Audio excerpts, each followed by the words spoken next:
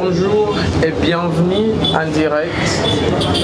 Mercredi 1er mars 2023, nous recevons Georges, combattant de l'IDPS. Georges, bonjour et bienvenue. Euh, bonjour, euh, bonjour les téléspectateurs et les internautes. Nous sommes là encore pour discuter quelques questions d'actualité. Nous vous demandons bonne écoute et bon suivi. Merci euh, pour ces moments et pour cet entretien. Georges, euh, c'est quoi les nouvelles que vous avez, les dernières informations? Et les dernières informations sont d'abord bonnes parce que au moins la grande partie du territoire de Massis qui était déjà conquise par le M23 est déjà reprise. J'ai dit la grande partie, pas toute la partie, mais la grande partie qui était déjà entre les, les mains du M23 a été reprise par notre armée loyaliste. C'est bon, c'est bien. Ça que Rubaya, Ngungu là-bas, partout là-bas, Karuba, au moins la- les informations que nous avons nous disent que toute cette partie est déjà reprise. Reprise par qui et depuis quand? De- reprise par le FRDC et cela depuis après les combats d'avant-hier. La journée d'hier, il y a eu affrontement vers les après-midi. On a repris certaines localités après Sac et l'avant-hier même, la cité de Roubaï avait été reprise à partir d'abord des de, de, des mains des de, des autodéfenseurs et qui ont concouru leurs forces ensemble avec euh, les FRDC et la cité est totalement contrôlée. Et chose drôle, chose peut-être malheureuse, mais qui n'est pas encore peut-être confirmée par les officiels. On a appris que dans une maison d'une personnalité bien connue, on a rencontré une cache d'armes. Et Où c'est À Goma ou euh, à Rubaya même. à Massissi alors? À Massissi, à Rubaya même, on a croisé une cache d'armes très importante. Et jusqu'au point que même dans la ville, nous avons vu certaines maisons de- de- de- des officiels qui sont déjà encerclées par les militaires. Et il y, a vraiment une fouille sérieuse dans certaines maisons ici à Goma. Nous avons déjà circulé la ville de Goma. Bon, vraiment, c'est important. Les, les militaires sont à l'œuvre.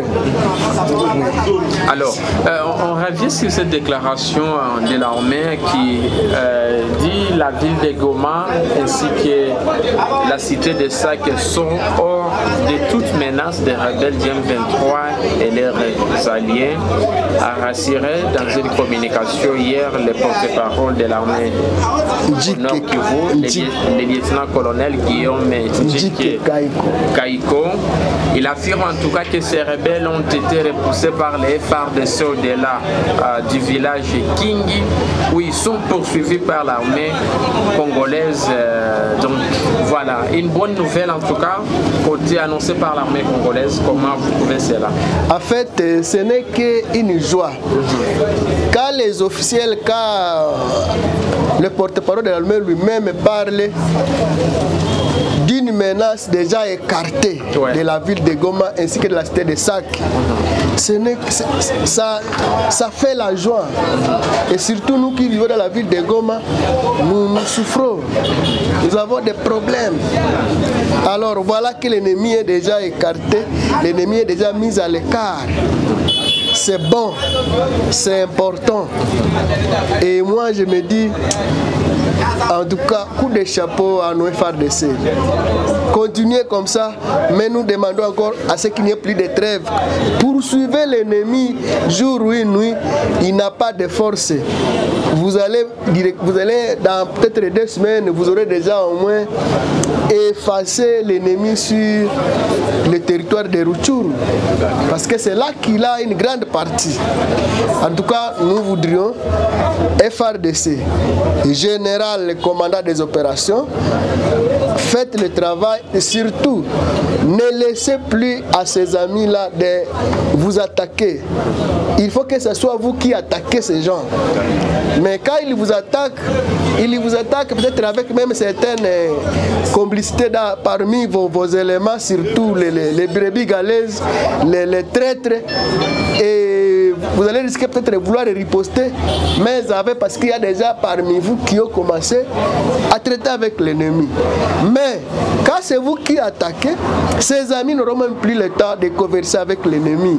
Parce que nous connaissons euh, Goma, les 1v3 ne sont pas forts. Ils sont forts par la corruption. D'accord. Oui. C'est vous qui l'avez dit. Alors, Georges, vous avez lu la déclaration de certains élus du Kivu, Je l'ai lu, je l'ai exploité. On, on- on va s'intéresser sur certains propos où certains disent en tout cas ou appellent le président Tshisekedi à une négociation et euh, disons un dialogue en fait de faire taire en tout cas ces armes. Ils disent qu'il faut vraiment un règlement pacifique euh, Comment En fait, en fait, les gens ne savent pas ce qu'il faut dans le Parlement. Mais ils sont en congé, il faut préciser. hein. Ce sont eux-mêmes dernièrement qui ont signé, euh, je dirais peut-être un, un communiqué, une sous-loi qui avait interdit toute intégration. On parle de députés provinciaux du Nord Kivu ici à Goma. Bon, en fait, leur, leur, leur gra- même, même, même, même, même les communiqués des de, de, gens de Kinshasa, je les lis aussi. Ouais. Bon, ils ont aussi presque abonné dans la même sens. Ils ont demandé à ce qu'il y ait aussi peut-être libération de tout l'espace pour qu'il y ait. la suspension Oui, de toutes oui, les oui, opérations oui, d'enrôlement, tout ça. oui. Ils ont dit ça. Moi, j'ai dit ceci. Hein. Et, et les provinciaux et les nationaux, c'est comme s'ils ne savent même pas leur rôle. Vous allez remplacer bientôt. hein. De- je vais, oui, je, je suis prêt. Je vais d'ailleurs, je, je suis candidat. Ouais. Vraiment, je ne vois pas pourquoi on a peut-être mal Est-ce choisi. qu'il faut négocier ou bien il faut faire quoi? On ne peut pas. Le chef de l'État vous dit que je ne peux pas négocier. Et le chef de l'État encore, il a même abonné, il a même développé, il a dit ceci. hein. Ou bien la paix totale, ou bien la guerre totale. Et celui qui veut la paix prépare la guerre. Ces députés, dernièrement, ils ont signé une sous-loi qui demandait au gouvernement de ne jamais plus intégrer les éléments des groupes armés dans notre armée. Et maintenant, quand ils demandent négociation, vous voulez que l'M23 va dire quoi? Tous ces Rwandais qui sont dans l'M23, on va l'intégrer dans notre armée et qui sera bénéficiaire. Je le répète, négocier, c'est comme un suicide. Mais au nom de la paix, monsieur Georges. Au nom de la paix, non, mais on peut, on peut négocier la paix pour sa mort. On peut négocier la paix pour sa mort. Vous savez, nous connaissons très bien les stratégies du Rwanda. Les Rwandais sont très, très, très, très, très vi- virulents. Ce sont des virus. Oui. Et si vous les négociez, ils vont vous demander le ciel. Ils vont vous demander le ciel. Et maintenant, c'est des petits qui demandent que si on négocie aujourd'hui, on va d'ailleurs, on va directement supprimer le Parlement parce qu'ils vont aussi intégrer le, le Parlement. Et à quoi serait bon? Je répète, ces députés, ils ont tapé à côté. D'accord. Ils ont tapé à côté. D'accord, c'est vous qui le dites. Il y a Martin Fayoulou qui dénonce ce qu'il qualifie, je cite, la complicité et les, compét- et les compétences pardon, du pouvoir et appelle à des manifestations les 11 mars à travers, euh, bien sûr, les pays. Euh, voilà, une marche pacifique qu'il dénomme des résistances patriotiques dans les grandes villes du pays à partir du samedi. Par rapport à cette situation, bien sûr. Bah, en fait, d'abord, les manifestations sont réglementées par la Constitution. Fayoulou demander une manifestation, c'est de son droit le plus légitime. Mais- mais quand- Mais cependant, Oui. est-ce que c'est le moment aussi de faire cette manifestation? Pourquoi, quand maintenant ils sont à, vers Rubaya, qu'on demande la manifestation, alors que quand ils étaient à, à, à Kiwanja, Fayoulou était toujours toujours bouche bée. Mais il y a eu toujours des manifestations à Goma. dans des pays. Mais pas appelé par Fayoulou. Ah. C'est pas la société civile. Moi, je remercie la société civile, surtout du Nord Kivu, qui n'a jamais, qui n'a pas dormi ça sur son laurier pour demander manifestation. Au moins, au moins pendant cette période de guerre, nous avons au moins assisté à plusieurs, environ 5 ou 6 manifestations demandées par la société civile du Nord Kivu. Mes chers, chers Nord Kivusiens, société civile, coup de chapeau, c'est bien. mais, mais- mais dans cette guerre, Fayou dénonce ce qu'il qualifie complicité et incompétence du pouvoir. ça n'engage que lui. Et j'ai dit, il n'a qu'à refaire, y relire la constitution de la RDC avant de se prononcer de, de- mots pareils. Quand il parle de l'incompétence, je le qualifie de, de- de- quelqu'un qui n'est pas, qui n'est pas stable dans, sa, dans ses paroles et sa conviction. Je pense que le monde entier, le monde entier est vraiment témoin de la façon dont Tshisekedi mène sa vie politique. Aujourd'hui, le président le plus respecté en Afrique, c'est facile. Ah. Ça, c'est quel groupe et quelle appréciation Moi, je les- les- les- plusieurs, plusieurs groupes des droits de l'homme ont toujours fait des publications dans ce sens. Il devient du coup le premier populaire. Il est, il est le, le plus respecté. Respecté, c'est ça Oui, oui. Il est le plus respecté de l'Afrique. Ah. Chaque fois qu'il y a invitation et que Félix est invité, il est souvent invité dans des grands forums africains, là où les grands hommes font les réunions. Et quand, quand il, est, il est écouté, respecté comme ça maintenant, dès bon, hein, quelqu'un va dire, bon, incompétent, c'est pas ce qu'il veut de lui. Bon, ça n'engage que lui, c'est la démocratie. Mais la démocratie n'exclut pas aussi peut-être hein, les déraillements des, mœurs. Ça ça n'engage que lui. Aujourd'hui, le président Félix, même quand il était avant-hier à la conférence sur les droits de l'homme à Genève. Mais il, il fallait voir comment il était très écouté.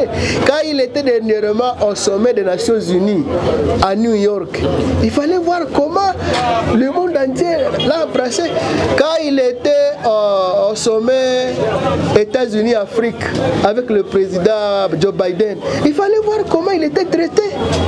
Et maintenant, à l'interne même, soyons sérieux, à, à l'interne, à Kinshasa. Mais c'est quoi les résultats après tous ces honneurs, messieurs Genre, Les résultats, c'est ceci.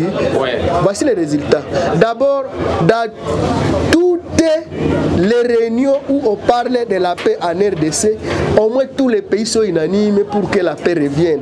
Il reste seulement au Rwanda. D'ailleurs, actuellement, le Rwanda est presque écarté de la grande réunion. Dernièrement, à Genève, il n'a pas, pas été représenté. Au sommet de, de- de- de- au sommet de, de, de- d'Addis Abeba, Kagame même a fui, a fui la réunion, il a claqué la porte pour vous dire que la présence de Félix fait trembler Kagame aujourd'hui. Et Kagame maintenant, comme euh, vous savez les Batuti ont une, forme, une, une sorte de- un comportement là de, de- de- pharaonique. Donc de ne, pas, de ne pas comprendre les événements. Même là où il faut toujours il faut, il faut directement arranger, se retirer, on endurcit toujours le cœur. Par exemple, n'est-ce pas, Justin, vous êtes témoin, résultats de ce qui, s'est fait ce qui s'est passé avant-hier à partir des des bombardements. Au moins plusieurs radios ont déjà publié cette là Tous ces affaires rwandais qui meurent sur le front, n'est-ce pas qu'à à cause de l'endurcissement du cœur de Kagame? Il y a eu un bilan?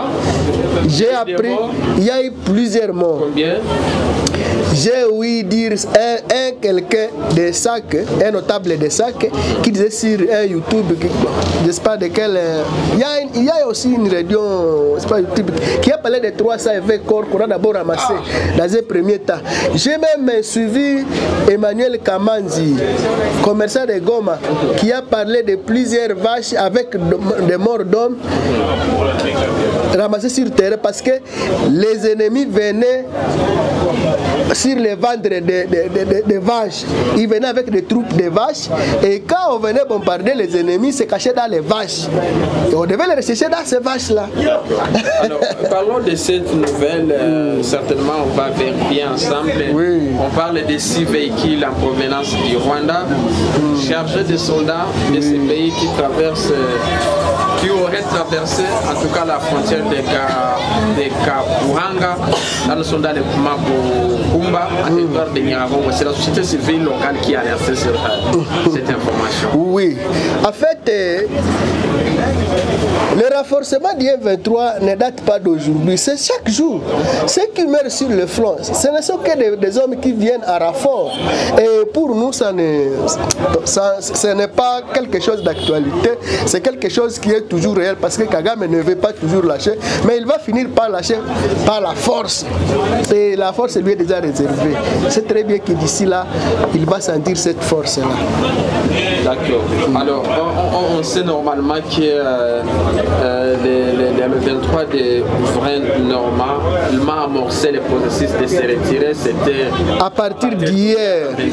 Oui, des c'est le programme d'Addis Abeba. Ouais, mais voilà maintenant là où les hommes, beaucoup d'hommes, là où beaucoup d'hommes se sont réunis, ils ont donné une résolution. Mais Kagame est bon, lui, il, il, il, il bafoue ça, il piétine pour dire qu'il ne voit même pas tous, tous, tous ces présidents-là qui ont proposé cette, cette, cette euh, formule de sortie de crise. C'est-à-dire pour lui, lui, il est au-dessus de tout le monde. Sur cette terre, sur cette terre, il n'y a jamais eu de plus fort. Les hommes sont toujours les mêmes.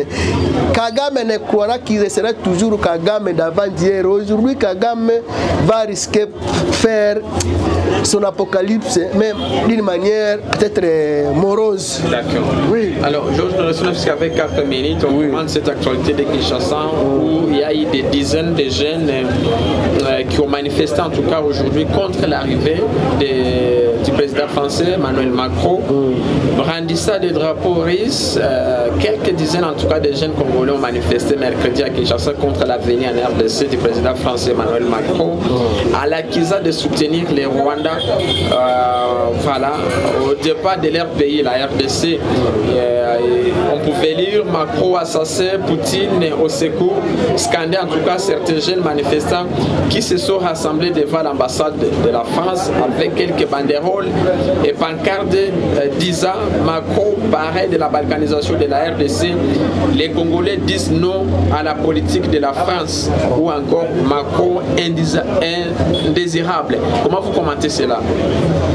Je dis, je répète, réellement, Macron indésirable. Macron n'est pas le bienvenu en RDC.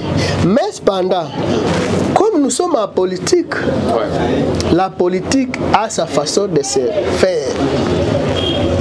Moi, comme Georges, je peux vouloir que Macron arrive et qu'il se rencontre avec réellement les vrais hommes, les patriotes de la RDC et qu'on lui dise la vérité que la vérité expo, ex, expo, ex, disons que la vérité soit cloisonnée qu'elle éclate. Pourquoi? Nous savons très bien que Macron est derrière ce qui se passe, que, derrière les agresseurs. Mais il sera accueilli comme un roi Kinshasa. Il sera accueilli comme un président, c'est son droit d'être accueilli comme un président. C'est un président. C'est un président, c'est normal. Mais bien sûr, c'est son droit. Même, même, si, même, si, même si Justin devenait président, le lendemain, c'est le tapis rouge. Quelle que soit les, les, votre race sociale, les, quelle que soit votre qualité. Les Congolais font danser. Mais les Congolais, je sais très bien que les Congolais ne sont pas dupes. Les Congolais sont trop intelligents et aujourd'hui très éveillés. Ils vont toujours lui montrer cette face-là que Même si tu es arrivé, ne voulons pas de ta politique. Et on va danser pour lui quand même. Je ne crois pas qu'un Congolais qui va danser pour Macron, je ne le vois même pas. À part, à part les traîtres, à part, à part les traîtres, à part ces, ces, ces, ces, ces politiciens vantards, vautours, Qui viennent toujours derrière les, les, les, les- les blancs, croyant que les blancs est mieux que les noirs. Mais Fatih va lui dire la vérité de ce qu'il y a. Pourquoi? Dernièrement, il a, il a fait voter Mouchikiwabo, secrétaire général de la francophonie. Est-ce qu'il, est-ce que cette Mouchikiwabo, candidat unique, est-ce qu'elle elle mérite cette, ce poste-là? Le poste revient à la RDC, mais il fait passer par Macron pour prendre le Rwanda et passer par le Rwanda pour venir nous, nous, nous, aga- nous agacer avec la guerre. Et Félix doit nous dire cette vérité. Il va nous dire d'ailleurs de cesser avec cette politique parce que bon, le Congo, c'est le Congo. Si vous voulez manger de ce Congo, passez par la porte. Merci Georges. Oui, On va se quitter, vous allez regarder ma caméra et puis vous allez lancer un message euh, au à FRDC. nos forces armées de la RDC. Merci Georges. Effectivement, FRDC, vraiment, merci pour le travail que vous êtes en train d'abattre pour nous. Merci. Nous sommes derrière vous et nous ne vous lâcherons jamais. Vous êtes la force, vous êtes la porte et vous êtes, je dirais, la boîte des conserves de la population congolaise. C'est vous qui conservez cette population. C'est vous qui protégez cette population de tout ennemi extérieur. Et moi personnellement, et au nom de la population, je dis merci. Et ce merci, vous devez l'accueillir avec bras ouverts. Et c'est- une voix sincère qui vient de mon intérieur. Parce que ce que vous faites sur terrain, c'est à moi, c'est à, à ce Congolais, c'est à tout le monde, c'est au gouverneur, c'est au président, c'est au chef de quartier, c'est à tout le monde que vous le faites. Ce n'est pas seulement à l'IDPS, Merci c'est à tout le monde que vous le faites. Merci Georges d'avoir été là et de nous avoir accordé cet entretien. C'est un rendez-vous demain pour un nouveau numéro.